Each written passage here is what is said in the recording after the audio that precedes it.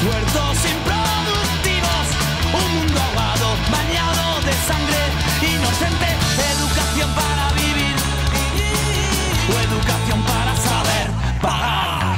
Más necesario es el pan que las armas.